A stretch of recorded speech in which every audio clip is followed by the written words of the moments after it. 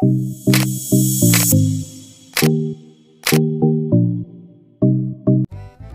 Pangarap putra bungsu Presiden Jokowi ini memang akhir-akhir ini mencuri perhatian.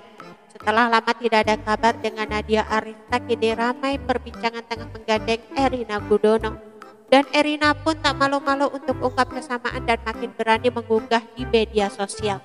Erina Gudono nampaknya mulai go publik terang-terangan dengan Kaisang Pangarap. Erina Gudono sendiri berhasil menang melawan Nadia Arista dalam memperebutkan cinta Kaisang Pangarap. Kini Erina Gudono sedikit demi sedikit mulai pamer kesamaannya dengan Kaisang.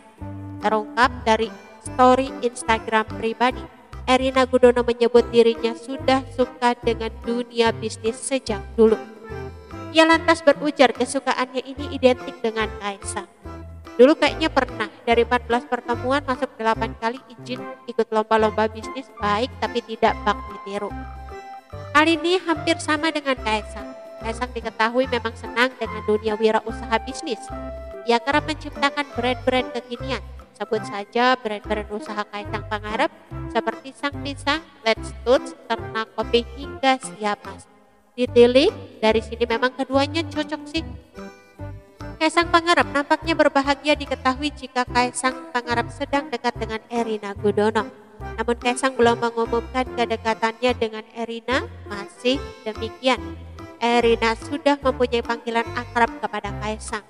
Hal itu diketahui saat Erina menerima kiriman makanan dari Kaisang. Enak banget krimit truffle gyudon aburinya harus cobain. Thank you Kaisang terbaik emang tulis Erina di instastorynya. Kemudian ada makanan lain juga yang diberikan Kaisang kepada Erina. Erina rupanya mempunyai panggilan ke Kaisang yakni Kak. Oke teman-teman itu sedikit berita dari channel blog berita sampai ketemu lagi di berita-berita selengkapnya Assalamualaikum bye bye